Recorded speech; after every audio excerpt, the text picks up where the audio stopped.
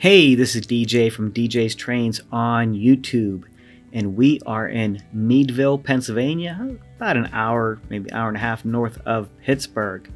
This is the Western New York and Pennsylvania Railroad. Now, part of my travels throughout the month of May and into June, I've gone all over Western Pennsylvania, into Ohio, even up to Canada, to show you footage that you probably have never seen before, and this is no exception. Meadville. This is where the Alcos live. the Alcos. These are Alco C, as in century, 430s, and built probably in 1967. This is engine 430, ironically, and 432. Now, if you've never seen an Alco, and unfortunately I didn't catch them running, this was a Sunday I will be traveling up here probably more uh, in the later summer. But if you've never seen Alcos, they have a distinct sound, and even the smoke seems a little bit different than a normal GE or EMD. They are neat, and I like the way they're painted too.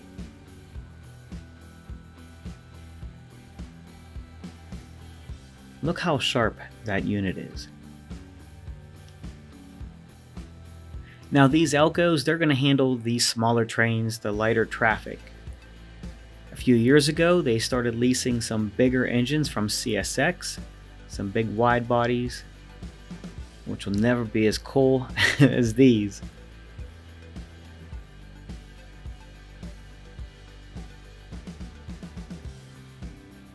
Now the trackage around Meadville is former Erie Railroad. So I'm assuming this was an old Erie tower. For anybody more familiar with the area, please leave comments.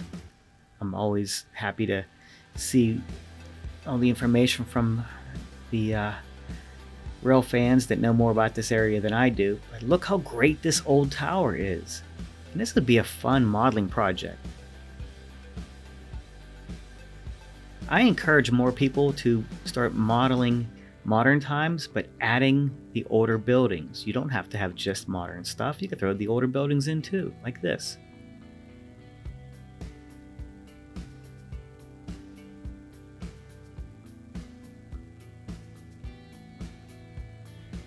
Meadville is pretty. And even a nice straight yard. That looks perfectly flat and straight looks so great against the Pennsylvania hillsides in the summer. Now I'm going to turn the drone around. We're going to fly very fast the other direction because look at what we find. Is this a former two-stall engine house or is it car repair? I don't know. You tell me. What do you think?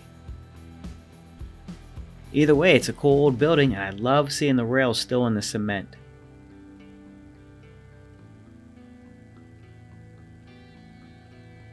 With the drone, you get to see a really good view of the roof and how things age.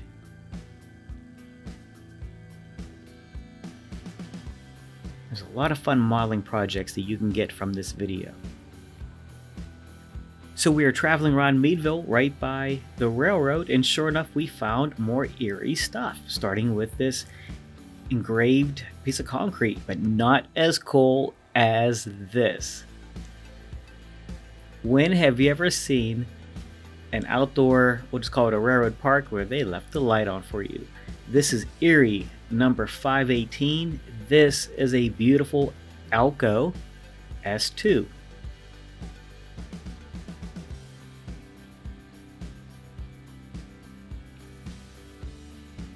Now, we didn't know this was here. When we stumbled across this, we were just blown away at by how nice of a restoration job they did on this unit.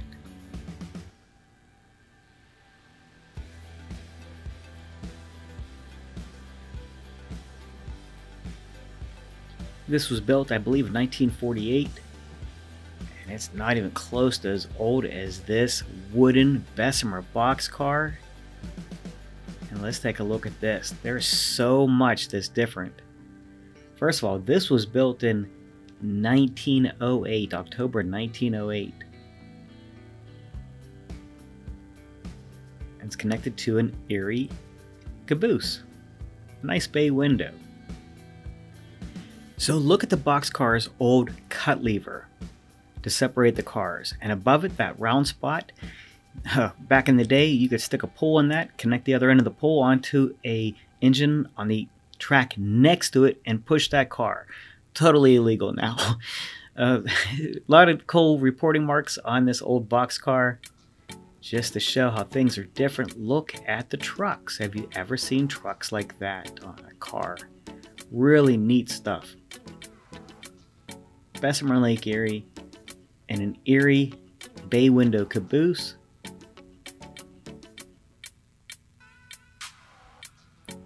So I was here with my friend Ron, and we are smiling ear to ear to find all this cool stuff. Now, Union Station. This is New Castle, Pennsylvania. Speaking of restoring, when this when this building gets restored, hopefully they restore these two nice cabooses. I don't know the history, but who doesn't love a caboose, yet alone two? There is a lot of interesting railroad history in the town of New Castle, Pennsylvania, and I'll be covering more in future videos, including a look at the yard. But let's start with the West End and New Castle Yard for right now. Here we see my friend Engineer Vince, and he's doing his calendar day inspection. Basically, you have to do it every 24 hours. He's going to be taking this westbound trailer train.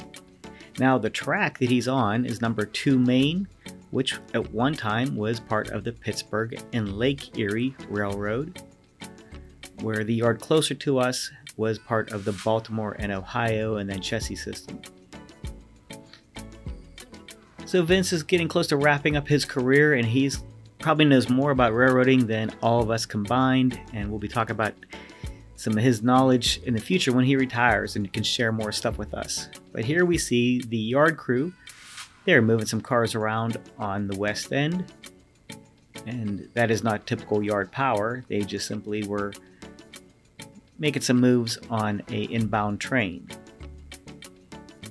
Now, besides CSX, you're going to find some other power in here on occasion because in New Castle Yard, we interchange with the BP, that is the Buffalo and Pittsburgh Railroad.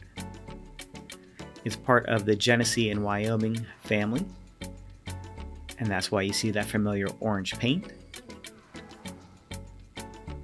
Now on CSX, we don't like to use their engines anymore because they don't have what's called positive train control, so we try not to use them on the lead.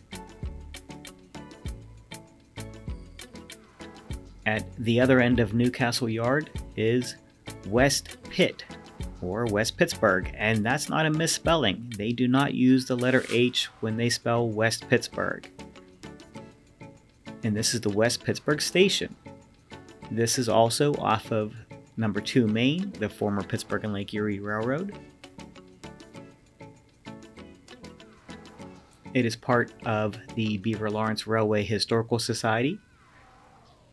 And besides having the station, they got some cool stuff. And they keep adding. They keep adding track.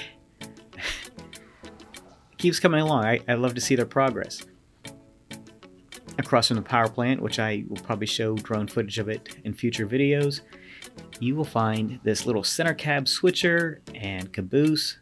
I don't know the history of the center cab, but what a cool little engine, huh?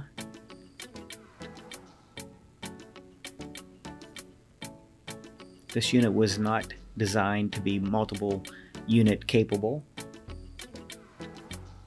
So if you know anything about this engine, let us know in the comments. and another bay window caboose. Bay windows are neat and you can have different window combinations. I like this one here. Three on one side.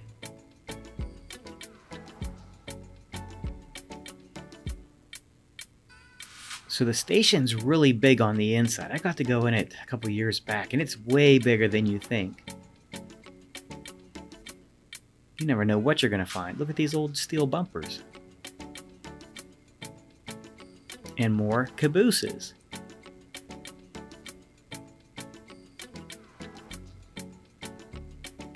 So if you get a chance, you're at West Pitt or New Castle, whatever you want to call it up here, check out these beautifully restored Pennsylvania cabooses. What a nice job they did on these, huh?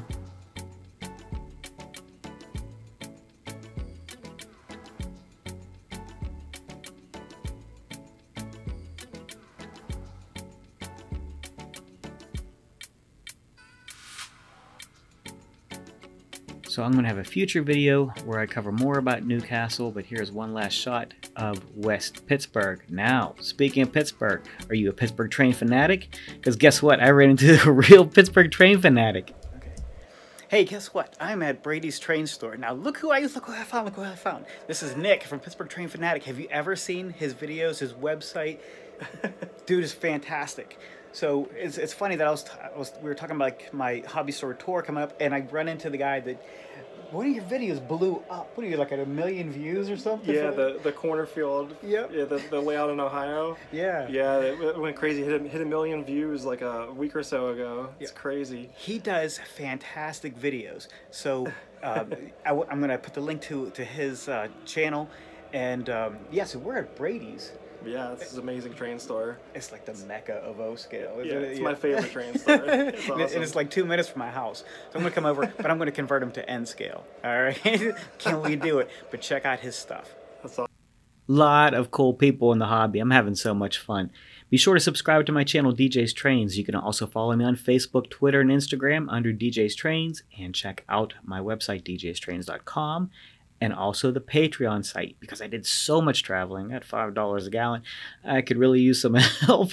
so, the Patreon site, besides helping to keep this channel afloat, it also allows you to see footage before it gets released to everybody else. A lot of unedited footage shows up on my uh, Patreon site and some behind the scenes, and I can do uh, personal Zoom calls, like shout outs, things like that. So be sure to check out that. Everything's in this video's description.